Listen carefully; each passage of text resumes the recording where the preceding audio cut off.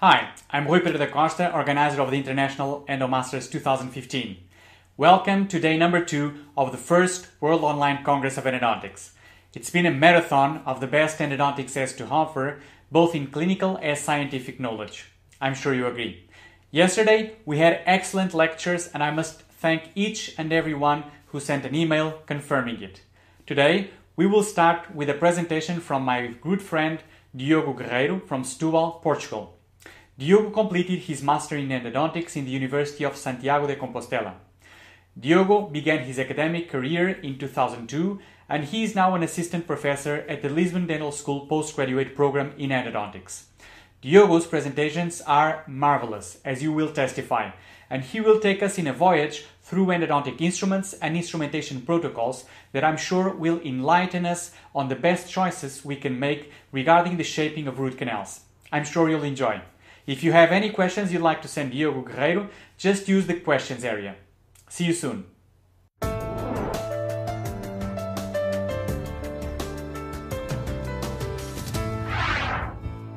Hi guys, my name is Diogo Guerreiro. I'm an endodontist from Portugal and I'm here today to present you a lecture about hybrid shaping. First things first, thank you so much Rui for the invitation to this International Endodontic Masters 2015 and congratulations uh, for the magnificent idea and um, to provide um, worldwide uh, endodontic education. So guys, if you have any questions, uh, just write on the comment box. I'll get back to you as soon as I can. Okay, hope you guys enjoy the lecture. So guys, I would like to start my presentation with this little story just to, to get you hooked up to the presentation. And I call it the story of an underestimated skill. And it's the story of Tom Brady. Tom Brady was a quarterback at the University of Michigan football team. And like all the kids in college football, he wanted to be a professional and play for an NFL team. NFL teams are very strict on their picks on the draft. And, and the system works um, that they base their picks on scout reports and, and then they have order to pick on the draft the kids to be professional players. So Tom Brady, despite being a very successful player at the University of Michigan, these were the reports the scouts um, made on him as a player. Let's have a look. Skinny, lacks great physical stature and strength, lacks mobility and ability to avoid the rush, lacks a really strong arm, can't drive the ball downfield, does not throw a really tight spiral. System type player who can get exposed if forced to ad lib. and gets knocked down easily. Well, basically, it was unanimous among scouts that Tom Brady um, was definitely not what you're looking for as a professional football player. And he ended up being picked at the 199th spot of the draft. Um, it's like uh, being the fat kid no one, no one wants on your team. And he was picked by a, a relatively small team called the Patriots. And this gentleman here um, is Robert Kraft, the CEO and owner of the Patriots. And the first time he met Tom Brady after the draft, um, let's hear what he has to say. This skinny, beat-pulled young man walked over to me and said,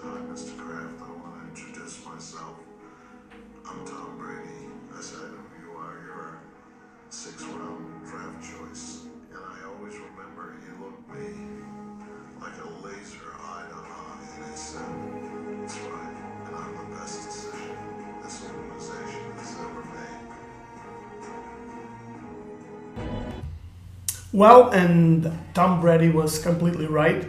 Um, he took the Patriots to several times Super Bowl championship.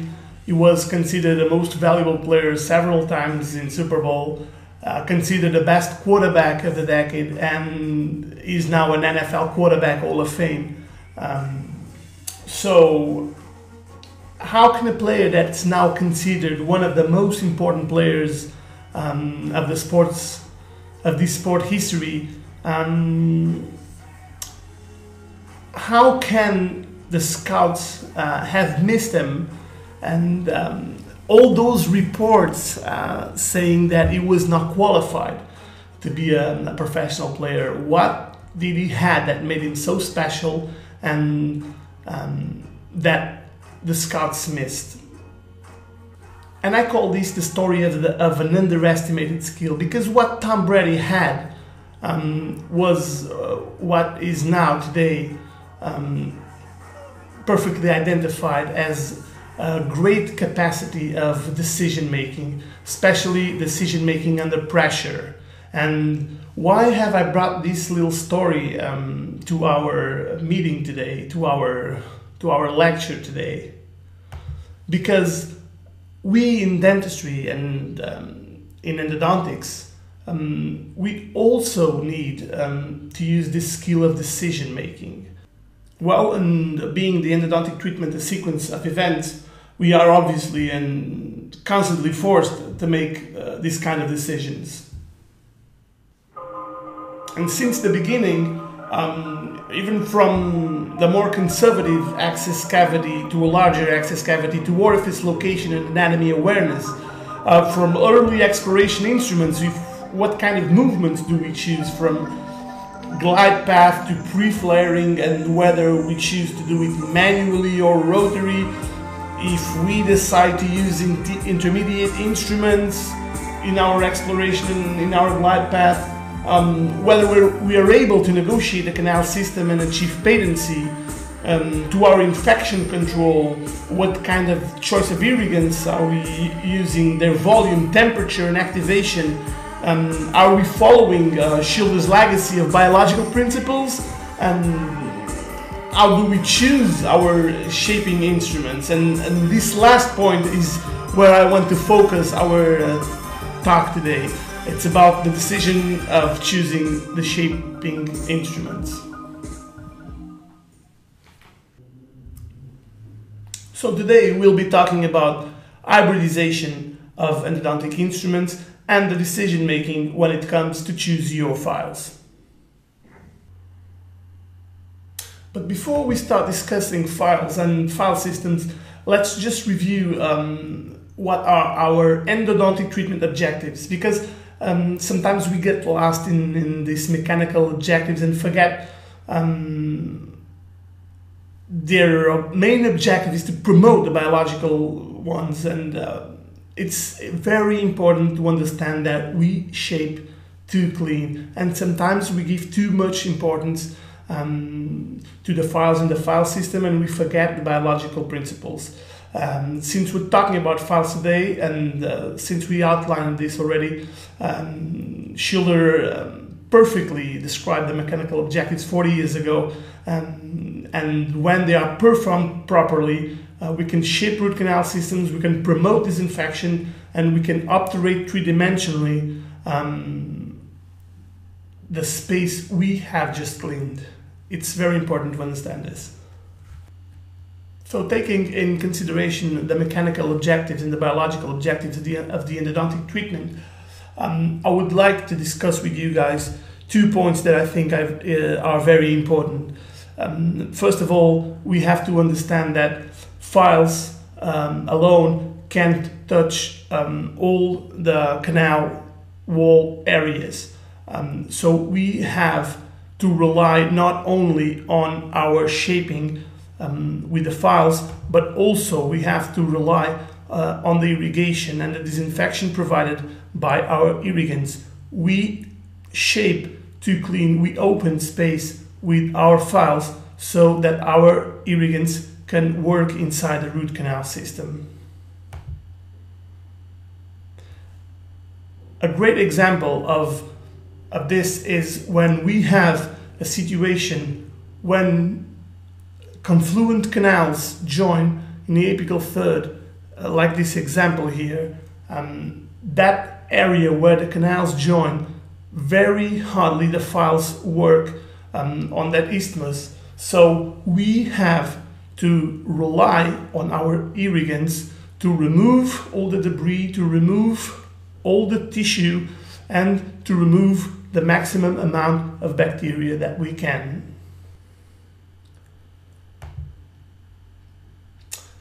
The second point I would like to make is I would like to raise your anatomy awareness um, to root canal systems.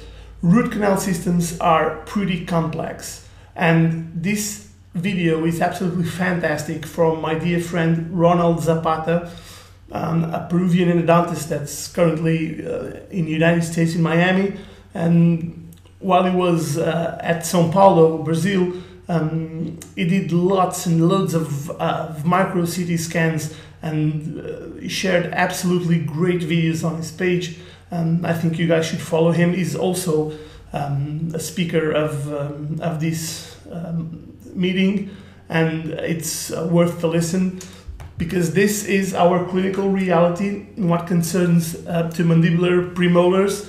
Um, we have to expect um, very complex anatomy sometimes, and we have to be prepared uh, to shape clean and operate these kind of canal systems. So when we see this diversity um, and complexity um, of anatomic features in root canal systems on one side, and on the other side, um, someone is trying to sell us this idea of one size fits all and that um, shaping of the root canals is a very uh, simplistic process. Um, I wonder if you guys are buying this idea or not. Because when we talk about um, hybridization of endodontic instruments in terms of shaping and the decision of, um, of choosing files to shape um, is based on what really concerns the clinicians. And let me tell you, um, I think the majority of the clinicians are really worried about file separation. Um, and actually, file separation and the file separation incidence is quite lower compared to blockage, ledges, and, and root canal transportation. So, of course, we have to be worried um, about the torsional stress and, and, and, the fatigue of the files and, um, and the probability of separation. But there are other um, features like file system design, of course, and user experience that we have to use and, and to be knowledge of um, in order to um, avoid mishaps, and especially because we are so afraid of file separation, and, and that's not um, the main mishap that's happened, that happens when we use um, rotary files in root canal systems. Clifford Ruddle wrote an overview where he classified each generation of file systems.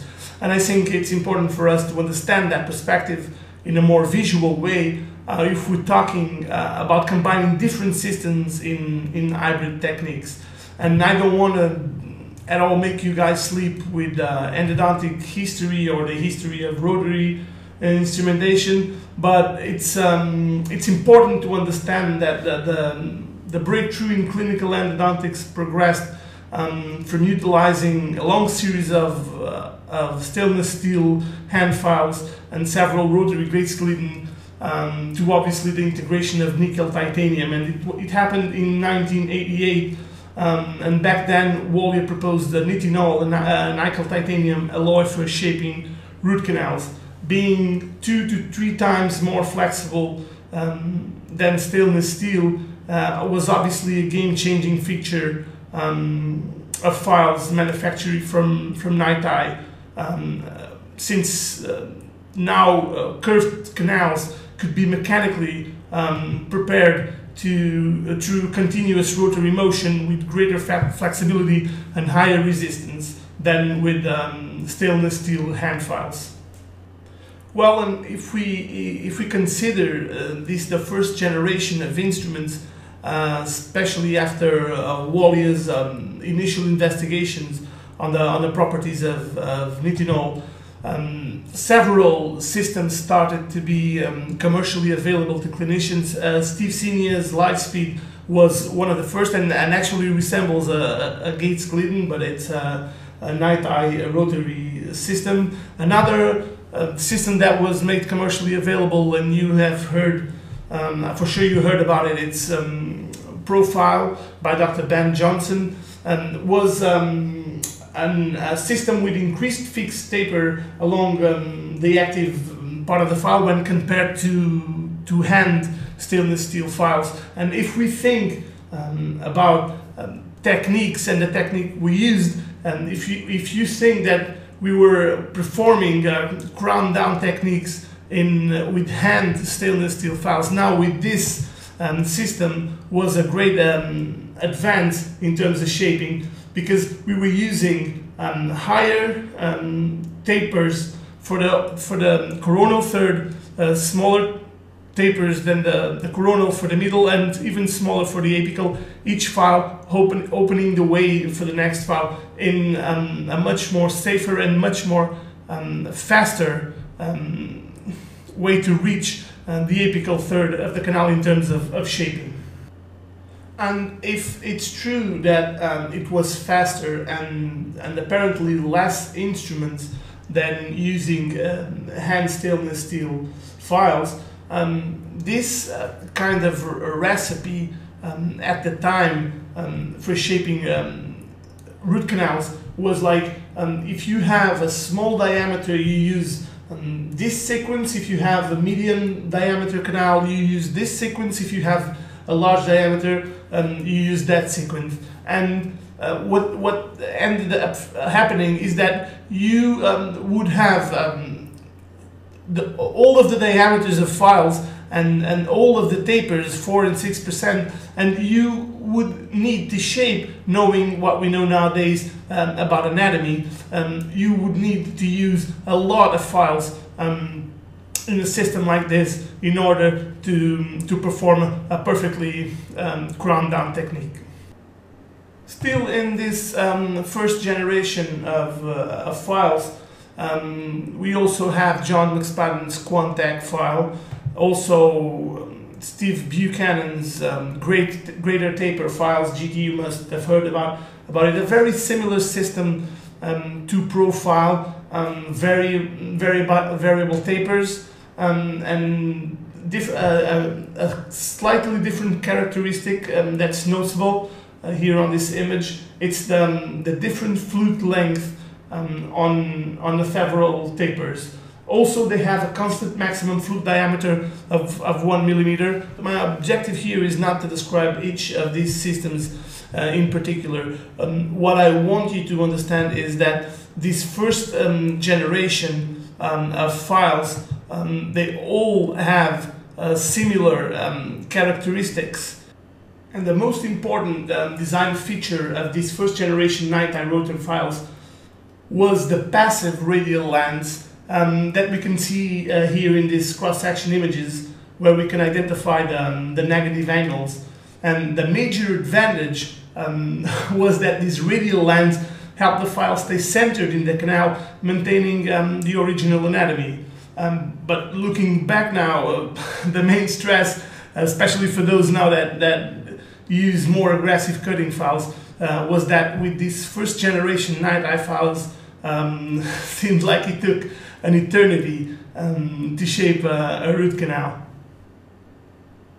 The second um, characteristic that it's common to all these first generation um, NiTi systems is that they have a fixed taper along their active blades.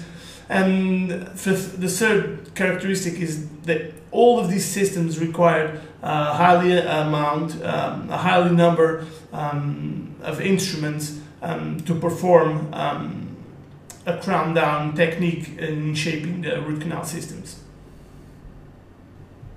After this first generation of instruments, a second generation was made available around 2001 and this second generation of night file systems uh, had um, active cutting edges um, obviously um, more cutting action less instruments needed to shape and they also um, provided some design changes, especially to avoid taper lock. Some of these systems um, you may have heard about. I'm not going to describe them uh, specifically. Um, that's not the point. We, are gonna we're gonna skip this part a little bit. The second generation, an example, race files um, from Brasseler at the time. Uh, alternating cutting edges to avoid taper lock. One of the changes, in another system K3 from SybronEndo. very aggressive file in terms of cutting. You might have experienced that too. And what I think was um, a breakthrough, um, my personal opinion, um, in terms of, of, um, of, of, concept uh, in, in, in, in, shaping root canals was um, the second generation uh, ProTaper files that came up uh, around 2001 with this um, design feature that was completely revolutionary at the time, the progressive um, multiple taper within um, each file. But let me just go back a little bit. So this second generation obviously um, tried to, um, it's an evolution um, and, and tried to correct um, the, the flaws of the, of the first uh, generation uh, systems, uh, NiTi systems, and this uh, second generation um, active cutting uh, edges, much uh, more um, cutting action, less instruments, and, um, and the design changes, especially the, the helix angle and, and the changes on the pitch, um, are, are obviously um, correction corrections to the first generation in terms, um, especially this design, this design changes to avoid taper lock was was very common. The first um, the first generation files, we we the screw effect that we felt in some of these files were tremendous, and this um, this taper lock uh, phenomenon was um, was uh, tried to, to be corrected in this second generation.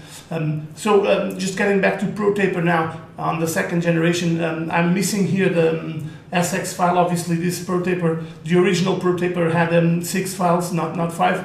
Um, I just, I'm just missing the, the SX file here because it's um, it's a file that um, I, I never actually used. I know there's lots of people that love it.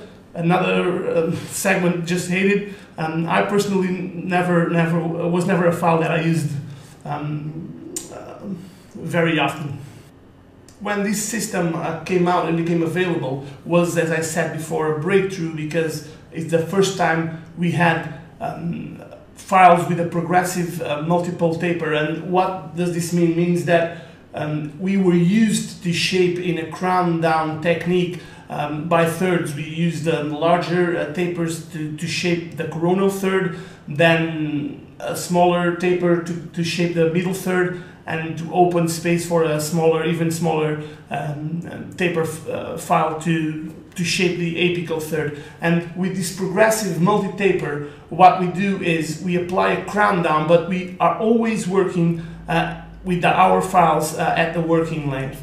And um, this was actually a breakthrough in terms of technique because all we have to worry about is taking our file to the working length because the shaping information and the specific um, third where the file is going to work that information is it's actually within the file. Um, so it's it's a completely different philosophy um, in terms of, of shaping. So you guys can see here two different um, kinds of files within this um, original ProTaper system. The two files on the left, shaping files, the three on the right, uh, finishing files, S standing for uh, shaping, F standing for finishing. So we have the S1 and S2. Uh, same characteristics. Um, tip uh, the tip with less taper than the D16 and the finishing file is exactly the opposite, meaning the shaping files are used in a brushing motion to shape the coronal and middle third and the finishing files are meant to prepare our um, apical zone. Now if we, we have an image here of a cross section um, of the original ProTaper files, a triangular convex um, cross section. Aggressive, they, they were they were really aggressive, and and actually um, the latest files, the F2 and F3 were files that um, had some problems in terms of internal transportation of the canal and, and ledging. Um, here we have a chart of um, how different it is from the classic crown down to, to this technique where all the files go to working length and we see that the, the first shaping files open um, the, the coronal and middle third to the, um, to the finishing files of this system. still within this second generation of files, and because this original ProTaper system was far from being perfect, a few years later uh, was released um, the second ProTaper, um, let's say, generation. Uh, they called it Pro, ProTaper Universal.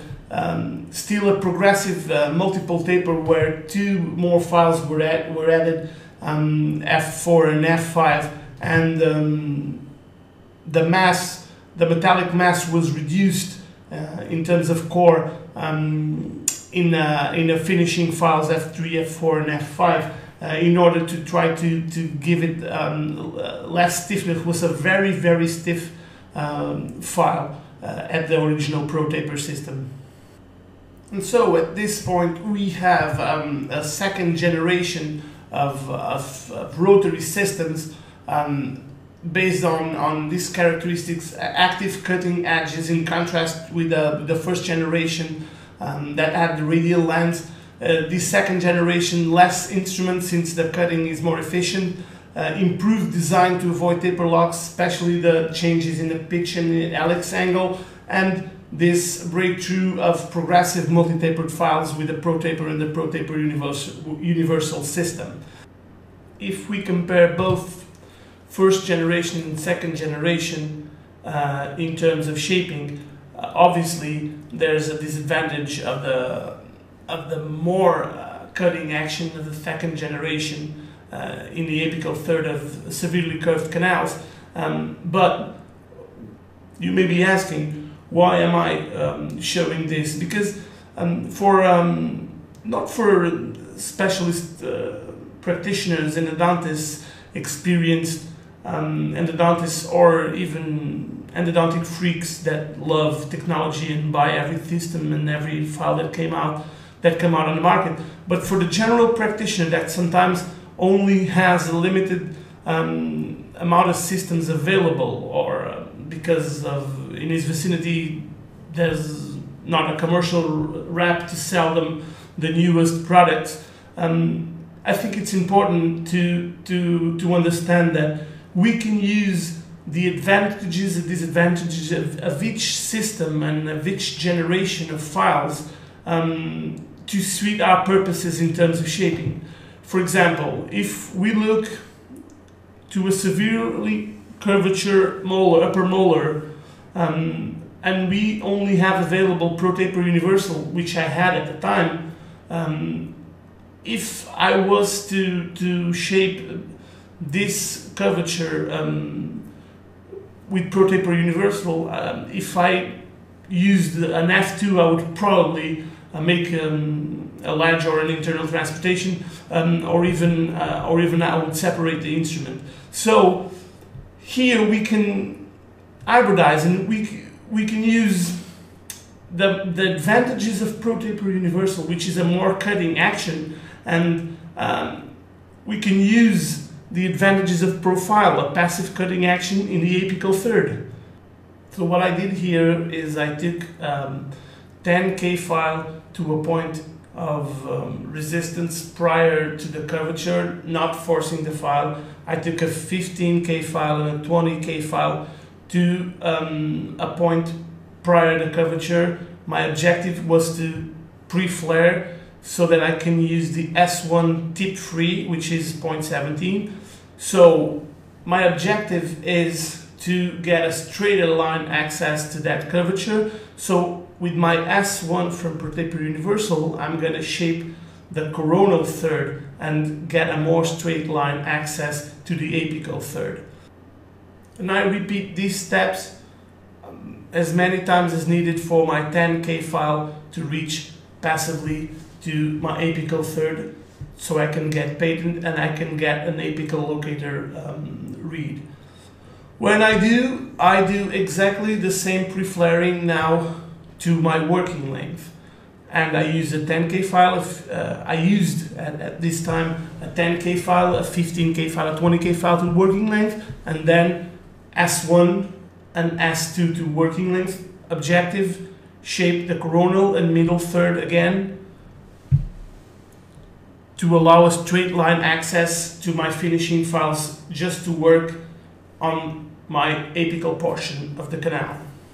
So what I did next was uh, start shaping my apical third with a F1 from ProTaper Universal, and uh, and after that um, I measured my foramen and decided uh, what would be my finishing file. Um, or um, if you do a visual gauging uh, because you need more cleaning of the apical third, whatever's the situation, um, and you have to enlarge more. Um, you if you go to with the with an F2 from ProTaper Universal in a, in a clinical situation like this, it's obviously dangerous. Um, there's a high uh, probability of canal transportation. So uh, what we th- thought to be um, a drawback from the profile, the uh, the passive cu- cutting action and the and the not cutting that much, it's actually playing in our favor here. So what we do is after ProTaper Universal, we change system to a, a, more passive cutting action system like Profile, and we use a 25 4%, uh, 25 6%, 34% and, and uh, 36% in the apical third to finish our preparation. And this is how it ended. Um, again, let me uh, remind you, and we are we are at um, a meeting um, that is being broadcast all over the world. Uh, Eight thousand um, registrants. Um, if obviously, if you are an experienced endodontist, or if you have have other systems available, and we'll talk um, about those systems in a minute this looks kind of old school. Uh, I used to do this a few years ago, but it might get um, it might be useful um, for some general practitioners that uh, that are starting or that that, that um, don't have um, all the, the newest systems available. So moving forward, and soon came the so-called third generation of rotary systems. Uh, and now instead of um, feature changing in design um, of the instruments, this um, third generation can be clearly distinguished uh, by the improvements um, of the NiTi metallurgy. So in this third generation um, of, of, file systems, what some manufacturers began to do is be, they began to focus on using heating and cooling methods for the purpose of enhancing NiTi properties. The objective was to reduce cyclic fatigue and improve safety.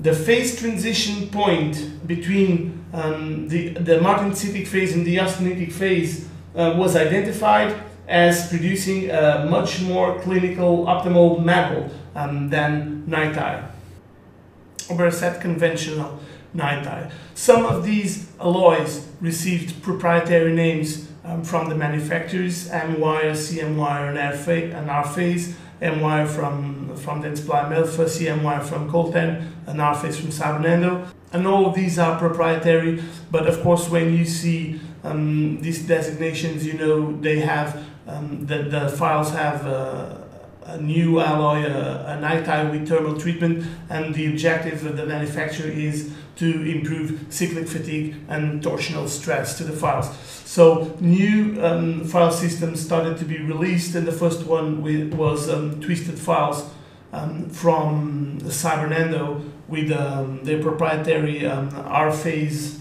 um, nickel titanium alloy, and followed by what what the manufacturers start doing is they start releasing their second generation systems with improved um, metallurgy. So we start watching the K3XF, which is an improvement to the K3, and then uh, Maillefer released the uh, GTX the, with the M wire, which is an improvement to the greater tapers from Dr. Steve Buchanan. And all of these are second generation uh, with improvements. And and the funny thing, um, Tulsa real, um, recovered profile from the first generation and um, enhanced uh, the the alloy properties and and released profile vortex, which is um, uh, an amazing file uh, actually.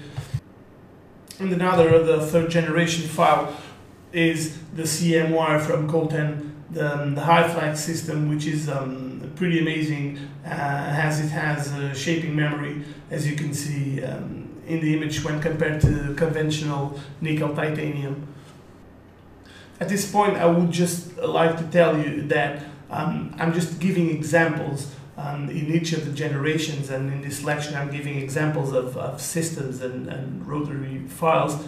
Um, but there are a lot more, and um, I have no commercial affiliation with any of the um, of the companies that I mentioned here. Um, this is just an example. There, there, there are a lot more systems we could we could discuss. Uh, that's not the point. I don't want to get into any particular system um, specifically. The objective is to discuss um, hybridization and I'm, I'm talking in, in, in general because um, I want um, you to understand um, the weapons we have um, when we need to combine systems, okay? Oh, and by the way, uh, Coltene is releasing um, some new HyFlex files, new generation of HyFlex files now at IDS Cologne. Um, so, like every day, um, new new files, new systems, new weapons we can use are coming um, to the market.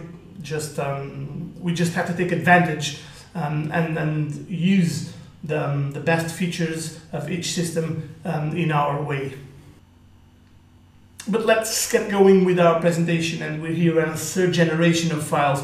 And the only problem that I, I see in, in this, and it's not a problem, but um, for, for people like me, um, back then I was I completely uh, shifted from fixed taper rotary files to, to multiple variable taper. I was using a Pro Taper Universal, and these new systems um, were fixed taper, and I would have to switch back to classic crown down techniques. And even though even though HyFlex, for example, and, and if you want to discuss this, um, you can talk with uh, Anthony Chaniot, he's a brilliant endodontist from Greece. and he can tell you everything about a HyFlex system, brilliant presentation on HyFlex. I recommend you talk, is the guy to talk um, about uh, HyFlex.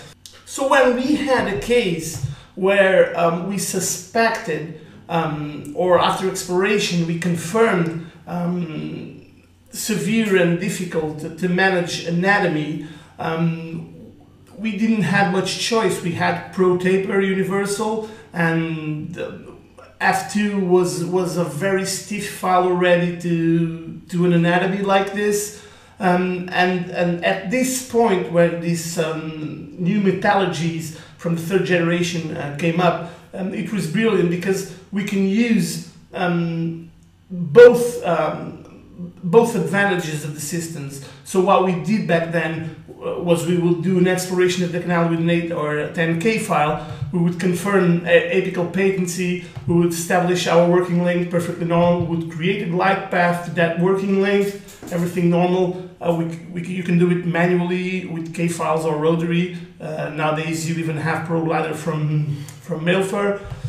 And then we would shape um, the coronal middle third prior to the curvature um, to make a straight line access to that to that more uh, curved part of the canal and we would shape this part with uh, the shaping files from the Pro Taper Universal system. So having this straight line access to the most apical part our irrigation will work um, better. Of course, I'm not, I'm not, um, it's not here, but we, you always have to confirm that you maintain your, your canal completely patent. So use a 10K file, obviously, uh, between your rotaries. Uh, keep keep checking uh, your patent and uh, let your irrigation work. We have our coronal and third, uh, uh, coronal third and middle third completely um, in straight line access to the most apical part. And now we need to reconfirm our working length, of course, because um, it, it, can change um, during your um, your shaping. And then we we have a straight line and, and a perfectly uh, safer way to shape our apical third. And, and here on the shaping of the apical third, we would use um, these features of the new files with metallurgy. I, I used um, I used a lot uh, the GTX files and, and also the, um, the HyFlex files in this in these kind of cases. So here you have another example of um, hybridization between uh, systems. uh, in this case ProTaper, ProTaper Universal from the second generation, and HyFlex, um, uh, CM wire system from uh, the third generation. Well, well, but the evolution of the rotary systems kept on going, and another advancement uh, in canal preparation procedures was achieved when this next generation came up, what we call the fourth generation, um, and in, a generation that includes um, the reciprocation motion. These four generation of files um, using these reciprocation motions have also fueled the single file um, technique. Uh, and I, I, must say, um, this single file technique is sometimes sold to clinicians and to general practitioners as um, the best thing that ever happened because you can you can reach the apical third really fast. Doesn't matter. We still need to use our irrigation and we still need to give time to our irrigants to uh, clean our root canal. So don't buy that idea that single file is amazing because you can do one session in 10 minutes because it's not true at all don't forget our biological objectives uh, of our endodontic treatment. Um, that's where we have to focus. Remember, we shape to clean.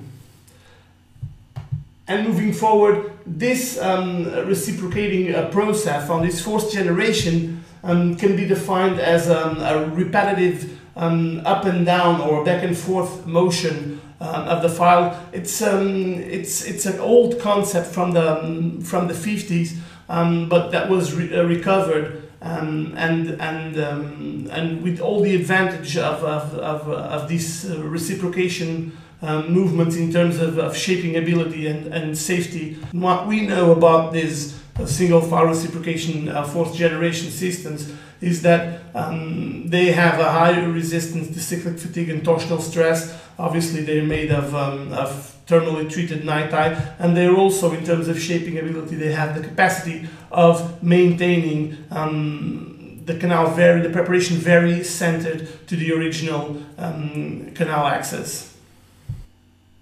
So in this fourth generation of files, the two uh, most widely known systems um, with the back and forth uh, reciprocating motions are wave 1 and the reciproc wave 1 from Maillefer reciproc from the German VDW.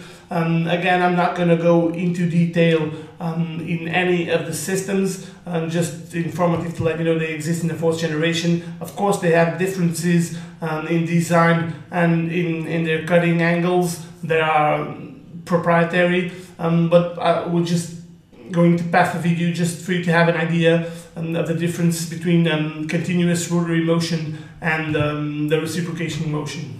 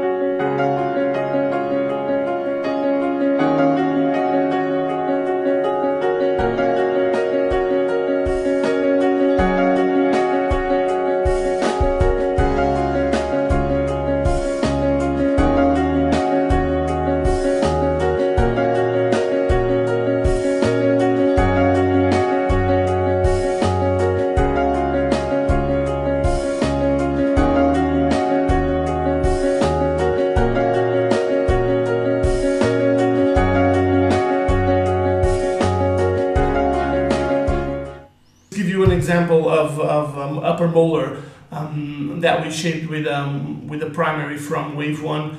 Um, upper molar four canals, what we did is a 10K file to, to glide path to establish patency, uh, get apical locator read and establish our working length. Uh, and then we shape the four canals with a single file. Um, it's obviously faster again. Um, be careful. Um, it's not about speed. It's about um, time consuming to clean uh, our um, canal system. Okay.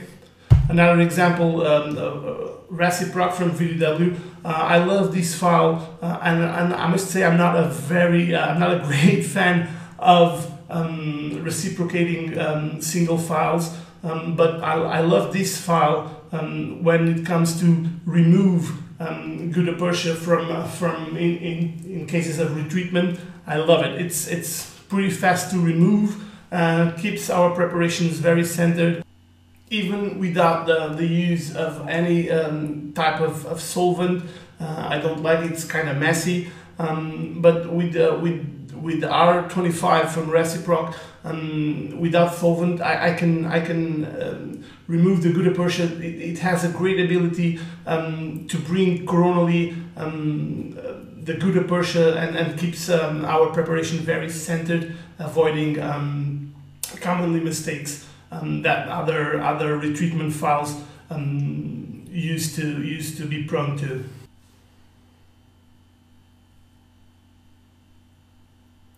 Also in this uh, fourth generation of um, reciprocating files, we have uh, the self-adjust file, uh, also known as SAF, um, a reciprocating um, file that obviously uh, doesn't do a back and forth motion, but does an up and down um, motion stroke. And these um, beautiful pictures were sent to me by, by my good friend uh, Oskar von Stetten, an, an excellent clinician from, from Germany and a very good friend of mine. Beautiful documentation. Oskar is actually known for, for his um, marvelous um, pictures on the microscope, and these uh, macro pictures here are absolutely amazing. He was kind enough um, to make a, a demo video uh, for us. Unfortunately, I don't have the SAF file available in my country at the moment, but Oscar was kind enough to make um, to make this video for us.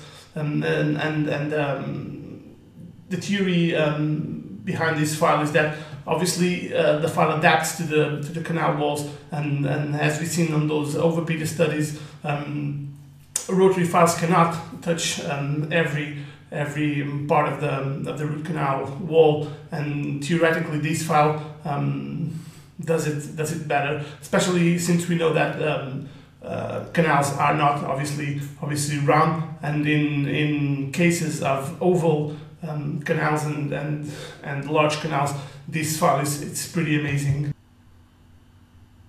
So moving to the last generation of uh, shaping files, and hope the majority of you guys are still with me, especially the guys from Vanuatu. Hi guys, hope you're still awake.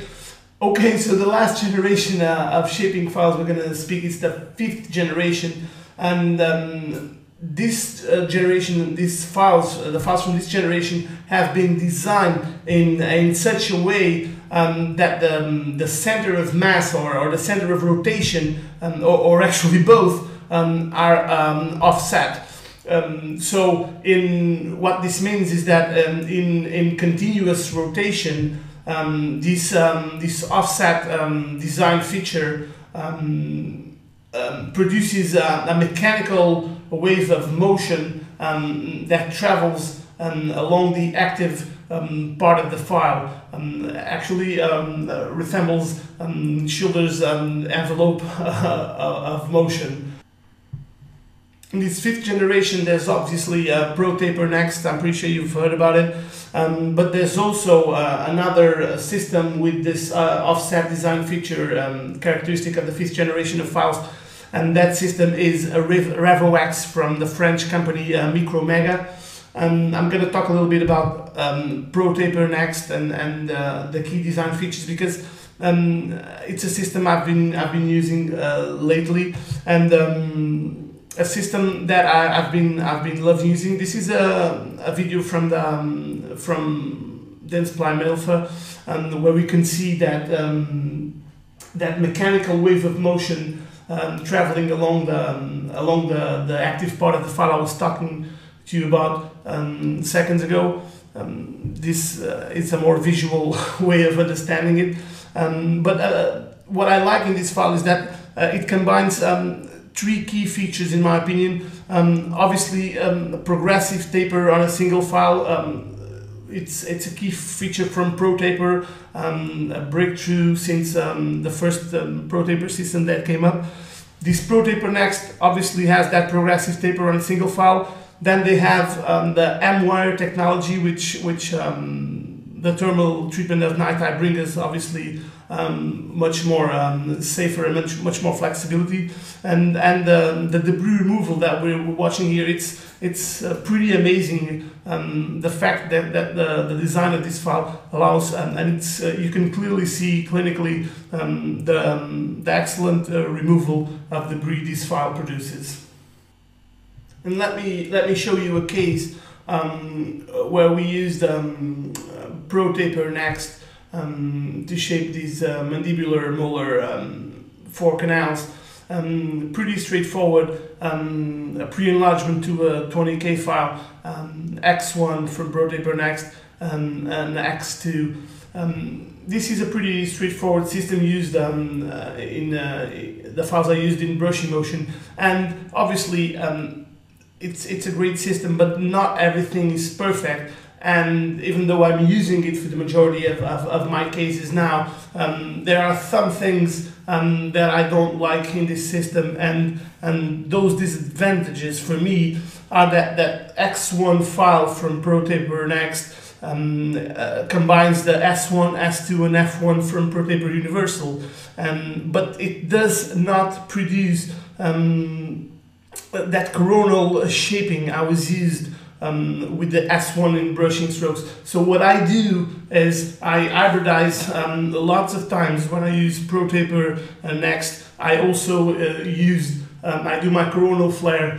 with um, a ProTaper Universal S1 file um, just for the coronal flare, and then I shape um, the rest of my canals with ProTaper um, Next. Another disadvantage is that, in my opinion, of course, is that the, the apical part um, of the preparations, um, and this is due to the to the offset design. Obviously, that mechanical wave that it produces, um, it's not it's not that predictable. Um, but uh, but um, about apical preparation, you guys stay tuned uh, in this uh, in this meeting because um, Nick Grande and Gianluca Plotino uh, will be um, speaking um, specifically about apical preparations to um, amazing um, Italian uh, endodontists, um, and, and I'm pretty sure they're wearing beautiful Italian suits.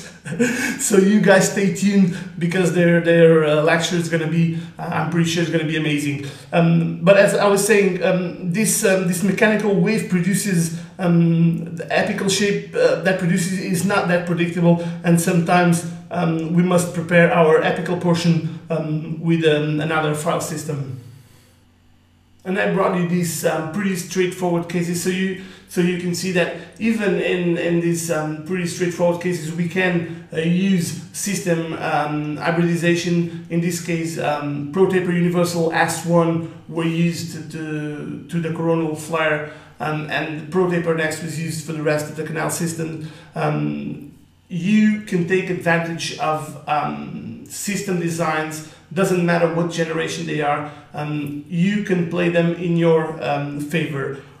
Again I'm, I'm sorry for not speaking um, specifically uh, and in detail of uh, every of the systems um, that we, we described here but unfortunately uh, we didn't have time for that. We can be uh, hours speaking of each one of the systems and, and obviously that was not the point of, of, of this lecture. Again, just a pretty straightforward case with some clinical pictures and it's never too much um, to remind you irrigation, irrigation, irrigation. Of course, we do hybridization to take advantage of the file designs and, and, and the systems to achieve our mechanical objectives but we should never forget about our biological objectives and the biological objectives of the, of the endodontic treatment. I'm also adding some of the restorative pictures um, from this case. And these restorative pictures, all the credits go to um, my dear friend Paulo Monteiro. Um, he did the restorative part. Uh, Paulo is um, is Portuguese too, and and uh, is um, a very very talented restorative dentist and I'm very very fortunate to to be able um, to work um, near him and to have him um, do the restorative part of some of my cases. An absolutely um, talented dentist, and this is uh, absolutely beautiful work, and here we are.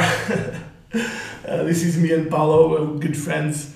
Uh, so thank you, Paulo, for um, for uh, giving our uh, lecture also your um, your beautiful pictures. and another great example of uh, hybridization in, in terms of shaping root canals. This case from my um, dear friend Mario Pereira from Portugal, where he combines um, three systems, three different generations uh, of systems um, to manage absolutely beautifully um, this curvature uh, in this mesiobuccal uh, root of an upper molar.